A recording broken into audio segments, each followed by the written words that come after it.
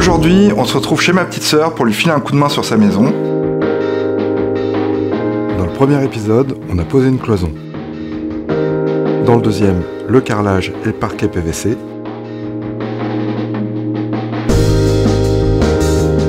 Dans cet épisode, on fait les joints de carrelage, on s'occupe des évacuations. Et on va customiser tout ça.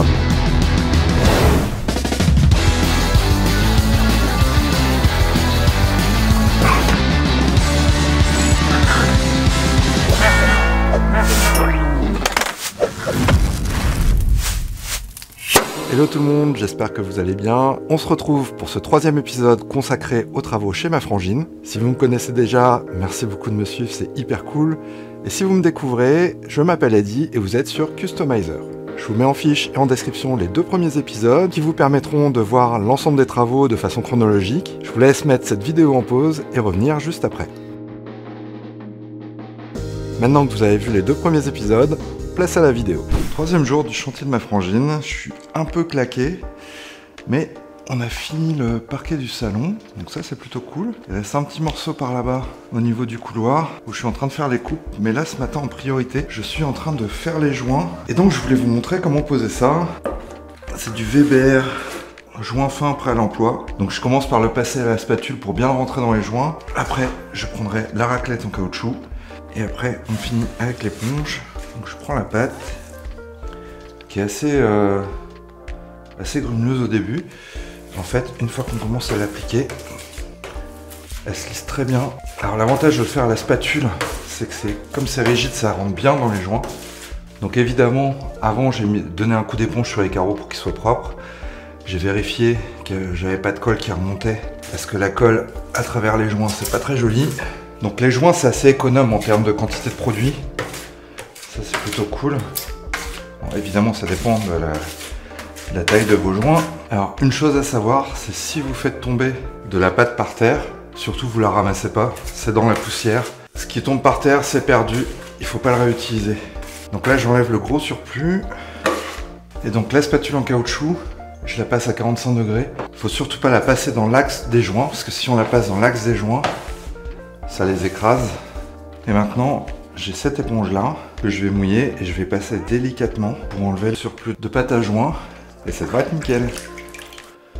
Donc faut que l'éponge soit humide mais pas trop. Le but c'est vraiment de venir lisser les joints en tournant délicatement. Donc faut pas appuyer, hein, c'est juste euh, faut passer délicatement. Donc si ça fait des petites bulles, faut pas hésiter à repasser va laisser sécher quelques minutes, le temps que la surface soit quasiment sèche. En fait, les joints vont commencer à prendre. Et là, on repassera un deuxième petit coup, juste pour euh, enlever le surplus.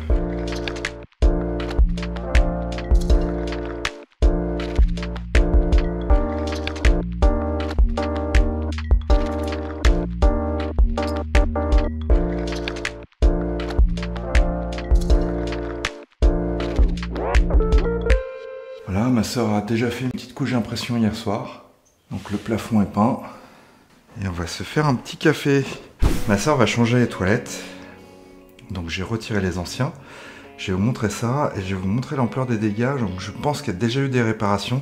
Donc on va changer le tuyau. Donc vous voyez, donc c'est bien dégueu. Et c'est surtout qu'ils ont mis un genre de silicone noir ou j'en sais rien, je sais pas ce qu'ils ont mis. Donc sur la lèvre en caoutchouc. Donc ma soeur avait des odeurs, mais ce qui est pas étonnant vu comme c'est foutu. Ce que je vais faire, je vais décoller le PVC et pour décoller le PVC, je vais le faire au décapeur thermique. Donc je vais couper le coude qui va me gêner, comme ça je vais pouvoir chauffer à l'intérieur. La partie noire, ça c'est celui qu'on va garder. Et on va reprendre un coude neuf avec un caoutchouc neuf pour pouvoir remettre le WC. On va déjà couper ce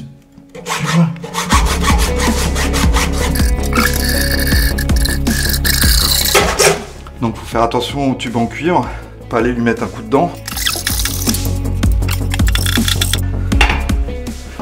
Voilà. Cette partie-là, poubelle. Donc si vous avez des odeurs dans vos toilettes, souvent ça vient de là. Donc l'objectif c'est de ramollir le PVC et de, ramollir aussi la colle pour pouvoir le décoller tout en conservant cette partie-là. Je vais chauffer l'intérieur du tube.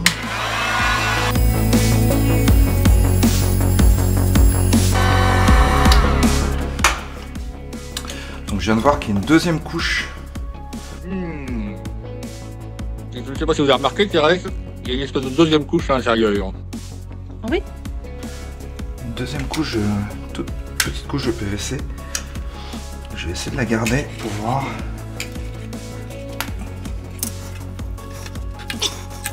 Donc là, l'avantage, c'est que comme la colle est bien chaude, elle est suffisamment molle. Et là, il suffit de faire un tour.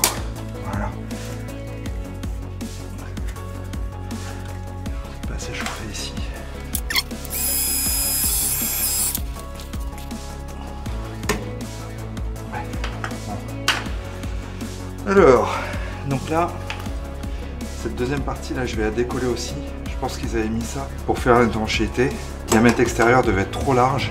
Donc ils ont mis un bout de tube de sang à l'intérieur de ce- cette partie femelle pour pouvoir rattraper le diamètre et pouvoir mettre le, le tube. Donc là, comme je vois que c'est déjà décollé, ça je vais l'enlever aussi.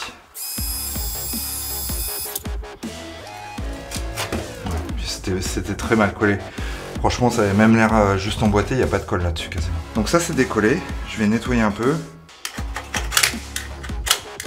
Donc après, coup de papier de verre pour bien le nettoyer. Et on va mettre un petit chiffon parce que ça chlingue. Les toilettes, c'est quasiment fini. On va pouvoir reposer les toilettes. Il y a quelques étapes que malheureusement je n'ai pas pu filmer ou les vidéos n'étaient pas exploitables. Donc vous ne verrez pas la pose des toilettes, désolé, mais voici ce que ça donne à la fin.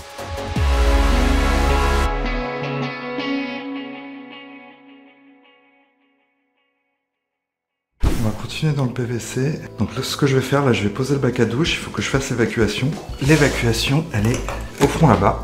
J'ai un adaptateur pour pouvoir passer en 40, qui est le diamètre de la douche. Là, on à l'arrière du bac avec le trou qui est en plein milieu. Donc il va arriver à peu près ici. Donc l'idée c'est de trouver le bon emplacement, le meilleur emplacement possible, afin d'être bien ajusté et qu'on puisse euh, serrer le siphon et que ça soit étanche. Pour pouvoir repérer où va tomber l'évacuation par rapport au sol, soit on utilise un carton, qui est le plus simple. J'ai des panneaux de contreplaqué de récup. J'ai posé le bac par-dessus, je vais tracer mon cercle. Le panneau de contreplaqué sera beaucoup plus facile à manipuler que le bac et au moins j'aurai le, le bon emplacement. L'idée c'est vraiment de pouvoir manipuler sans se casser le dos à chaque fois. Et donc, comme mon évacuation doit arriver à peu près là. Donc on n'est pas au millimètre près, hein. on a un certain réglage en profondeur et on a une légère souplesse sur le tube. Et après, si vraiment on est un peu décalé, un coup de décapeur thermique, on peut ajuster légèrement le tube. Le but c'est d'être le mieux placé possible, bien sûr. Donc ça me permet de repérer à peu près la verticale que je vais me tracer ici.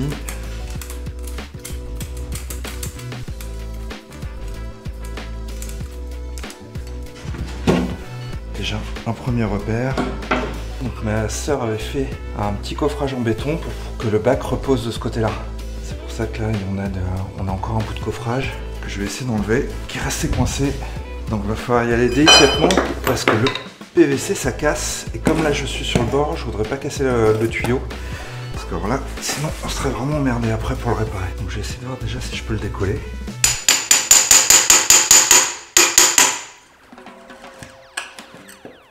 Ah, vous voyez, ça force sur le PVC. Voilà. Donc c'est pour ça que je l'ai soulevé pour éviter de faire levier sur le tube PVC et de risquer de le casser. On va dégager un peu le bordel qui est autour. J'ai ce morceau là qui va venir dedans. Donc là ce qui est bien c'est que je peux déjà faire mon montage à blanc. Je le mets dans le sens là parce que si un jour on doit intervenir ici, s'il est collé dans le coin pour aller travailler, le couper ou euh, faire quoi que ce soit, c'est vraiment galère. Ça me permet quand même de faire mon réglage. Et si on a besoin d'intervenir, ça sera quand même plus facile que s'il était coincé au coin là-bas.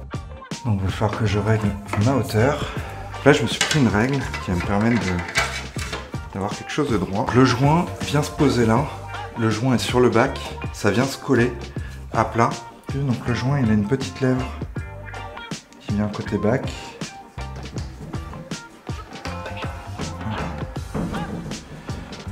Là le bac il a le joint.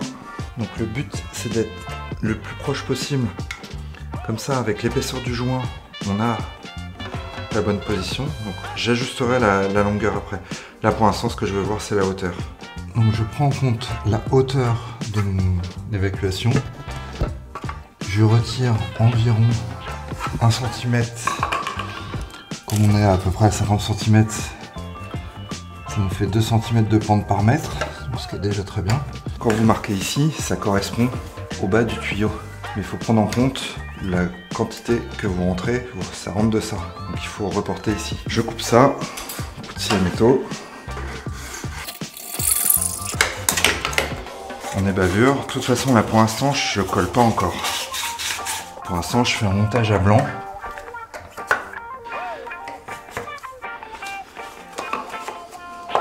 Mon bac de remplacement.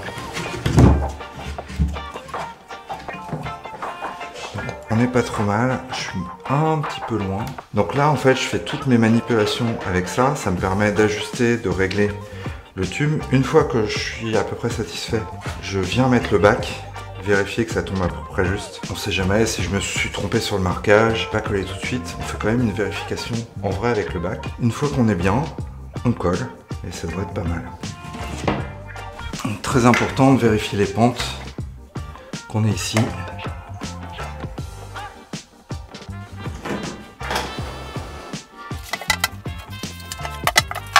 le bac est en place. Donc ça me permet de voir où tombe mon évacuation. Et si je la remonte, j'ai mes quelques millimètres d'ajustement. Je pense qu'on est bien. Normalement je suis à peu près dans l'axe parce que j'ai pas bougé depuis que j'ai enlevé le bac. Là je vais me faire des repères. Donc ce qui est important quand vous faites vos repères, c'est de partir du tuyau fixe. Donc celui-là. Je sais que celui-là, du coup, il faut que je le mette dans cet axe-là. Ensuite, celui-là, je le mets dans cet axe-là. On pourrait se dire, euh, c'est pas important parce que celui-là, il tourne dans tous les sens. Mais ce que je veux savoir, c'est l'axe de celui-là par rapport au premier. Comme celui-là est fixe, il faut que je fixe aussi celui-là et que sa position ne bouge pas. Là, j'ai fait un trait sur celui-là. En fait, c'est pas utile puisque ici, de l'autre côté, ça peut bouger, ça peut tourner, c'est pas très grave. Donc le coup de papier de verre permet d'avoir une bonne base d'accroche pour la colle en sachant que la colle à PVC, ça fait fondre légèrement le PVC et ça fait l'étanchéité. Par exemple, le tube que j'ai retiré dans les toilettes, il n'avait pas été poncé. C'est pour ça qu'il a été aussi facile à décoller. Du décapant, ça permet d'enlever les poussières justement de ponçage. D'ailleurs, le décapant vous permet aussi éventuellement d'effacer les traits et de pouvoir les refaire si besoin. Donc je mets la colle, donc là j'ai de la colle en tube. En pause, ce qui est pratique, c'est qu'il y a le pinceau qui est intégré. Donc là, je vais utiliser un pinceau amasseur engueuler si elle voit ça. Quand elle verra la vidéo. Promis, Nadia, je te nettoie ton pinceau. Et là, je me remets sur mes repères. Voilà.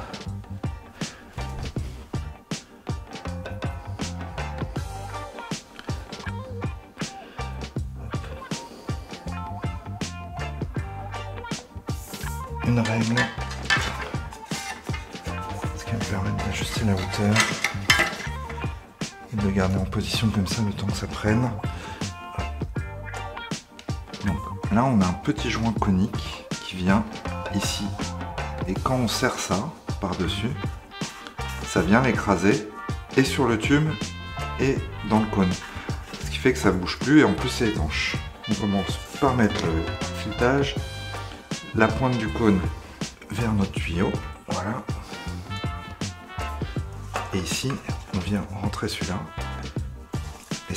Rien comme ça. Déjà, on sent que ça force un peu. On vient le serrer.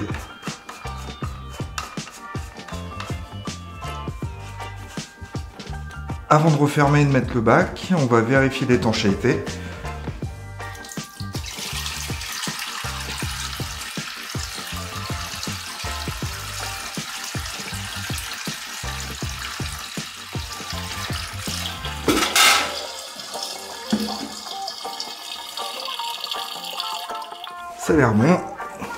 Là, je vais mettre euh, des bouts de parpaing. Comme ça pour remplir du sable. Et ce sera parfait. Et c'est un parpaing de moins à la déchetterie. Donc ça.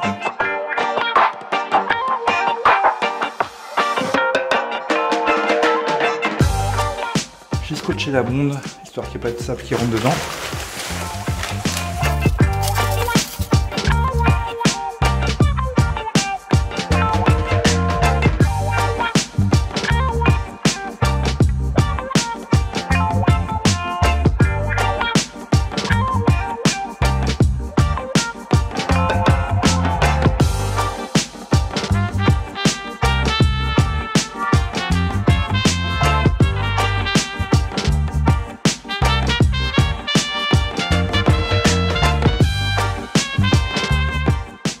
Ben, je vais profiter que tu es là pour euh, poser le bac.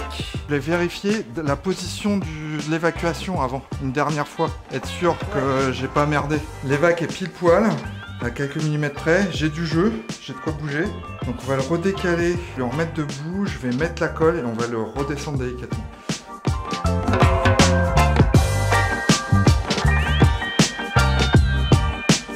Est-ce qu'une seule cartouche ça va suffire Je suis pas sûr. hein.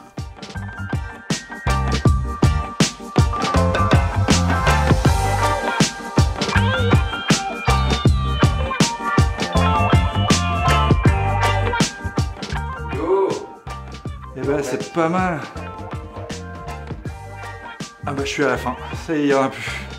Alors attends, décale-toi un peu par là pour pas qu'il aille frotter euh, là-bas. D'accord. On le fait descendre au max. Ok. Comme ça, moi je peux le soulever et toi aussi. T'es bon là? Ouais, je suis bien. Vas-y, on y va délicatement. Attends, je Donc, reprends un peu sur mes bouts de doigts. ouais. Et pousse. pousse Bah moi je peux pas. Ah, c'est pas mal là. Ouais, bien. Voilà. Hop. Voilà. Et regarde. Donc là, tu vois, là ça colle pas, mais là il est collé ici. Oui. Il est collé. Et tout en dessous, il est collé. Tiens, s'il y a une petite spatule, je vais aller enlever la- le surplus là-bas. Quand on va faire le joint silicone, que ça vienne pas nous emmerder. Voilà.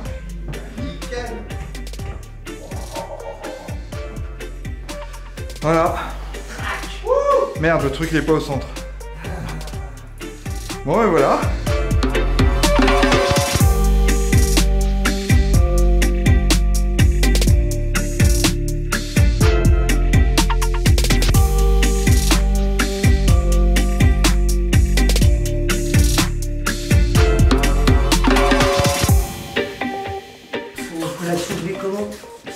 Tu, tu la soulèves, t'enlèves cette partie-là. T'as le. Hop, tu serres ça. Hop, tu le mets là. Et ça, t'as un- t'as des crans. Hop, voilà, juste posé. Yeah. Et voilà. Ah, c'est cool. Donc on va laisser euh, la colle sécher avant de faire le silicone. Donc le silicone, ce sera demain.